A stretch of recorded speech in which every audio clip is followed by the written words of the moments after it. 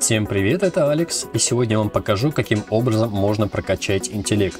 На самом деле слово прокачать здесь немножко некорректно. Почему? Потому что сам по себе интеллект в виде характеристики не увеличивается ни от каких действий, которые бы вы не производили в игре.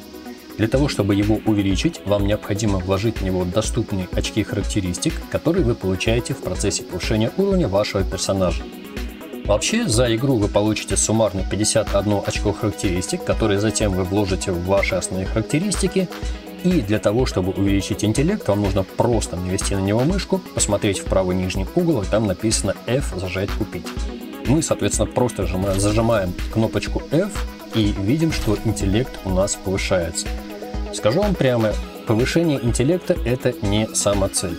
Повышение интеллекта нам требуется для того, чтобы получить те или иные перки в зависящих от него ветках. И, например, если нам требуется получить ад на земле, нам необходимо повысить уровень интеллекта до 20.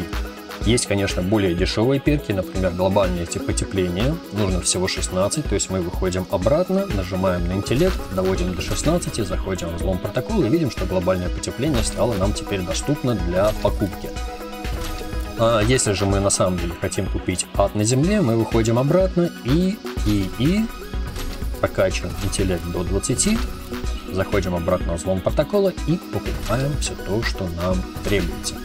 Окей, на этом, я думаю, будем заканчивать. Я думаю, теперь у вас стало понятно, каким образом увеличивать характеристику интеллект. Благодарю, что досмотрели это видео до конца. Всем побед, удачи, пока-пока.